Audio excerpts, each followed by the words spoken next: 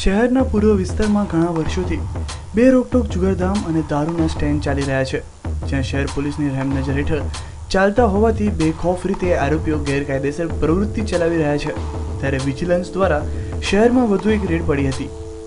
વિજિલન્સના અધિકારીઓએ બાતમી મળતા ટીમ સાથે ગત મોડી રાત્રે એક વાગ્યે જ્યુપિટર મિલના કમ્પાઉન્ડમાં આવેલા ડોલ્ફિન ધીમખાનામાં રેડ કરવામાં આવી હતી, જ્યાં રેડ કરતા પોલીસે બાવન આરોપીઓની ધરપકડ કરી છે.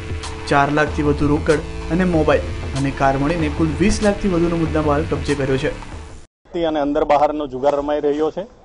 જે બાતમી હકીકતથી વેરીફાઈ કરી અને પંચોને સાથે રાખી આ સદર બાતમીવાળી જગ્યાએ રેડ કરતા ત્યાં આશરે બાવનેક જેટલા આરોપીઓ અલગ અલગ કુંડાળા કરી પાના પત્તાનો જુગાર રમતા હોય અને તેઓના પાસેથી કુલ ચાર લાખ પચાસ હજાર જેવી રોકડ રકમ અને એના સિવાય તે લોકોના મોબાઈલ ફોન તેઓના પાસે આવેલા વાહનો રમવા માટેના કેટ આ બધું મળી કુલ વીસ લાખ પચાસ હજારનો મુદ્દામાલ તેઓ પાસેથી કબજે કરવામાં આવેલ છે.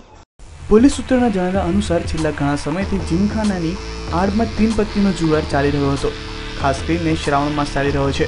તેથી જુગારનું મોસમ ખીલી હોય એ રીતે જુગારધામ ચાલી રહ્યું હતું. જો પોલીસ સૂત્રની વાત માનીએ તો જીમખાનામાં દારૂની સુવિધા પણ પૂરી પાડવામાં આવી હતી. જે જુગારીઓના પ્રાથમિક મૌખિક પૂછપરછ દરમિયાન છેલ્લા પાંચ સાત દિવસથી ખાસ કરીને શ્રાવણ મહિનામાં સાતમ આઠમનો તહેવાર આવતો હોય, આ લોકો આ પ્રકારની જુગારની પ્રવૃત્તિ ચલાવતા હતા. હાલ તો ગાંધીનગરની ટીમ દ્વારા રેડ કરી જુગારધામ બંધ કરવામાં આવ્યું છે. પરંતુ શહેરના પૂર્વ વિસ્તાર વટવા નારોલ, રામોલ હાટકેશ્વર, અમરાઈવાડી, બાપુનગર, નરોડા જેવા વિસ્તારમાં જાહેરમાં જુગાર અને દારૂના અડ્ડા ધમધમી રહ્યા છે અને બેખોફ રીતે કુટરખાના પણ ચાલી રહ્યા છે. જેને પોલીસ ક્યારે બંધ કરાવે છે તે જોવું રહ્યું. કેમેરામેન મિત ભટ્ટ સાથે કશ્યપ જોશી ન્યૂઝ ઓનલાઈન અમદાવાદ.